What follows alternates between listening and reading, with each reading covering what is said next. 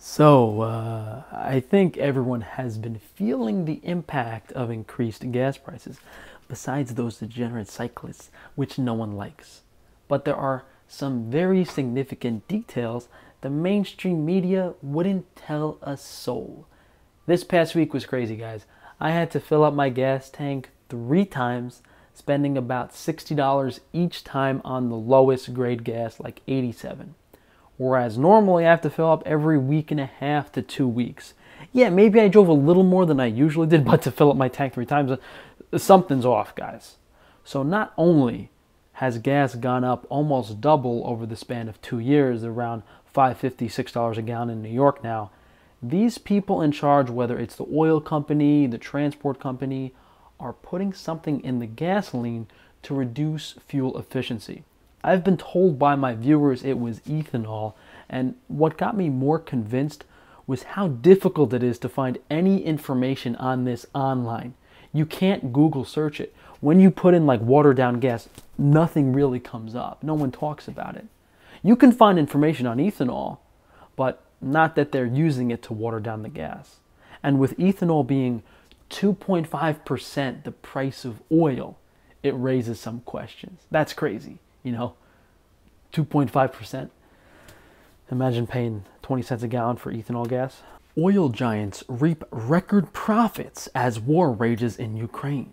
Energy prices soar. Here's how much they made. Exxon doubles profits from last year to 5.48 billion. So how have oil companies' profits doubled if the oil prices are allegedly going up?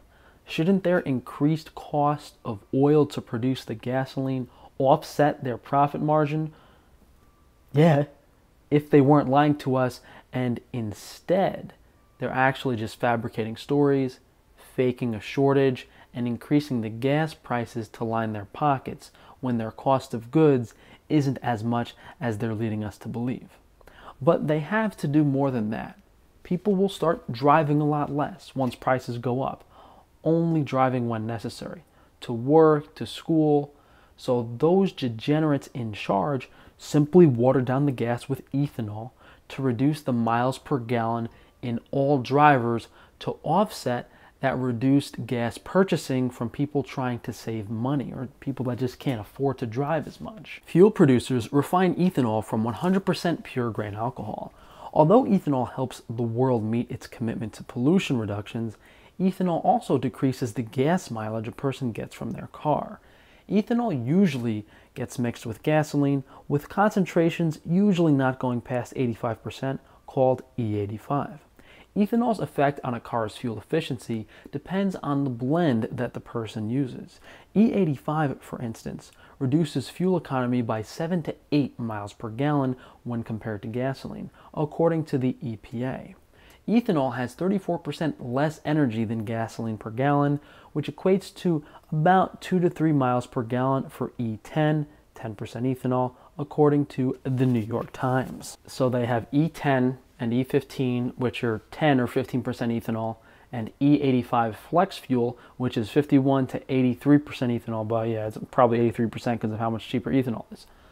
Those E10 and E15 are the base fuels in most gas stations.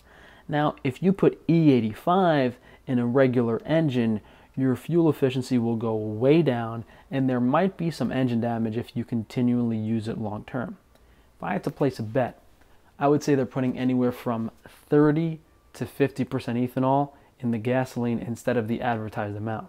Whatever the scientists have figured out to be the maximum limit before causing engine damage quick enough for the consumer to notice. So you think you're paying five to six dollars per gallon, which again is crazy compared to the two dollars per gallon just two years ago. In actuality, with the gas being higher in ethanol, I would bet you're paying close to nine or ten dollars a gallon because of the reduced fuel efficiency.